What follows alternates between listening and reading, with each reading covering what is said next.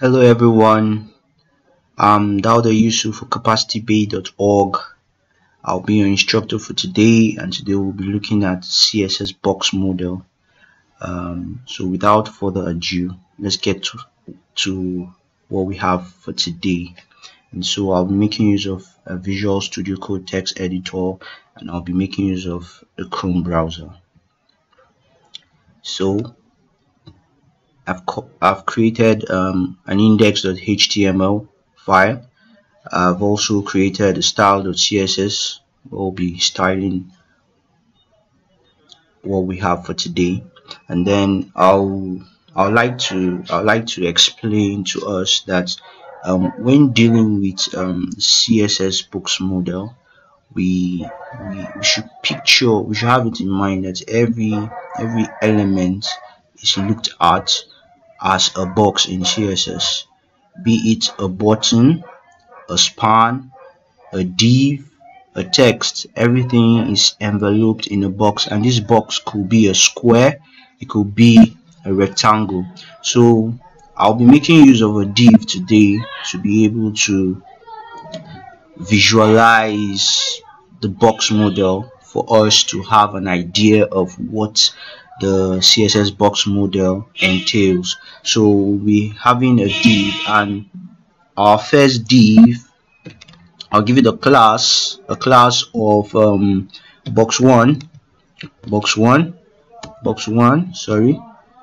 And then we have the second div with a class of box 2 a class of box 2 box 2 and then the the content of our div will be a text and I'll give this a text capacity capacity and our second text will be bay. So we have capacity bay. And then we save this and then we'll come to our style the css so what i would like to do first and foremost is to adjust everything we have on our page to the left corner of our page. So we give it a padding a padding a padding of zero and then we give it we give it a margin a margin of zero also. And then we save this. So when we come here to our chrome and then we refresh we have capacity and we have bay and so in the box model we'll be looking at we'll be looking at padding we'll be looking at margin we'll be looking at the height we'll be looking at a border and we'll be looking at the width. Those are the properties we'll be using to position the elements that we have which we have already created as divs. Like I said you picture everything in CSS as a box be it a uh, a div a button a span a text everything. So it's not it's not clear to us that we have a box. So let me make it make that clear. So let's give our our first our first div with the class name of box one a background color. Let's give it a background color of red okay? And give our second div a background color a background color of blue. Blue. And then we save this.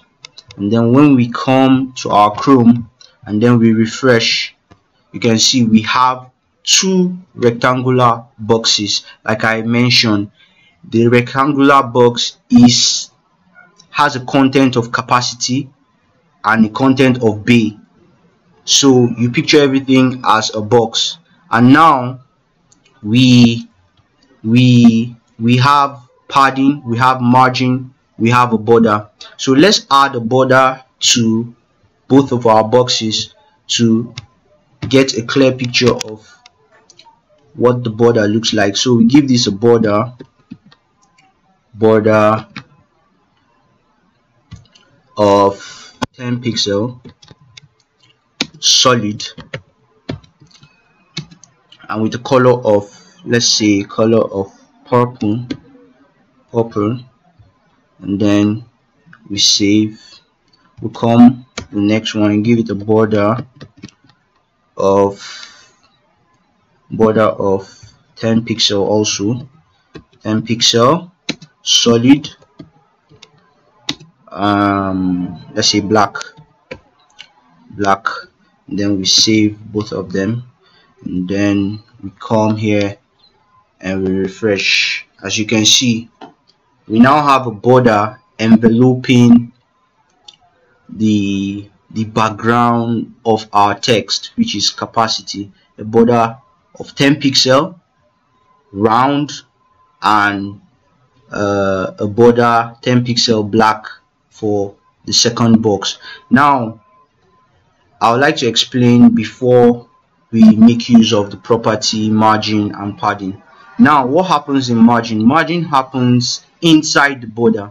Margin happens padding. I beg your pardon. Padding happens inside the border while margin happens outside the border. So when you want to affect the the background of what's inside the border we make use of padding. And when you want to affect the content of the whole box entirely change like adjust the position you make use of margin. Now margin happens it, occurs between two objects. So let's make use of the first property. The first property I mentioned was padding. Let's make use of padding and let's see what padding does. So let's give it a padding of 20 pixel and we give the second div a padding of 20 pixel to 20 pixel. And then we save this. And then we come over here. And then we refresh. We can see that there was a significant change in the surrounding like the the, the, surrounding of the text that's enclosed inside the border. So padding happens around the text around the content of the box. And the content of our box is a is a text capacity and bay. So padding happens around the content of the box enclosed inside the border. So now there was there was there was a significant change in the size of both boxes. Now it seems as if we have just one box with different colors. So we have to use margin now to be able to separate these boxes from one another. So we make use of the property margin. So when we give this a margin margin of let's say 60 pixel pixel we save this and then we come over here and then we refresh. Now you can see that there's a margin of 60 pixel. The our, our box has changed its position. What margin hap what, what what happened was that there was a margin there was a margin here 60 pixel up 60 pixel bottom 60 pixel left and 60 pixel right now let's give our second box a margin also. Let's give it a margin margin. Let's give the margin also of 60 pixel 60 pixel and then we save this.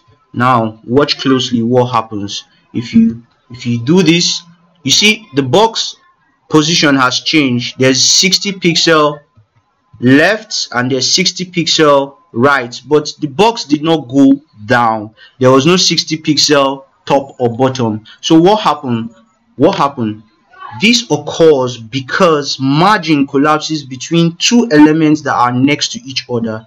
So whichever of whichever of the elements has the highest margin both elements will just share the margin of one of that element so margin collapses between two elements that are next to each other.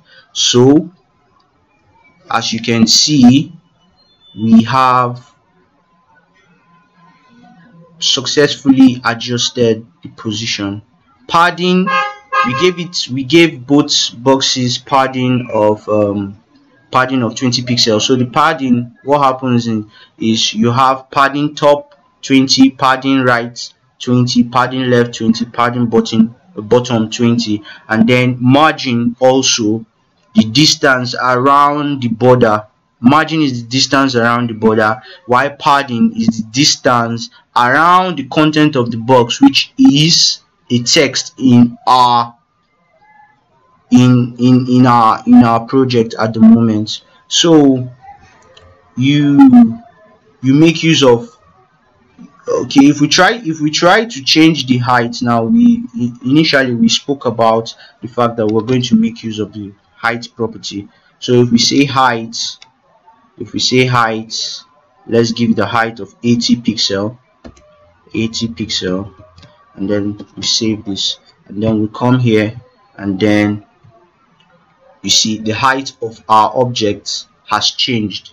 But there's a particular property I would like to share with us before before the end of this video. And that property is box sizing. So we make use of box sizing box sizing and box sizing we give it box border box border. And then we save this. Now watch closely what happens. Now if we save this we have our box readjusting. So what happens? The box border makes the height and the width account for the padding and the border. So our height and width is going to account for the padding and border. So whatever height and width we've given while adding padding to our padding property to our object it's not going to affect the height that we've given already and then the width also so i just hope you found this video very helpful and then you you you try to practicalize what we've done in this video and I hope you like our video and you click the subscribe button so you get notified for subsequent videos that will be dropping. Uh, thank you very much for your time. Uh, I'll see you in our next section.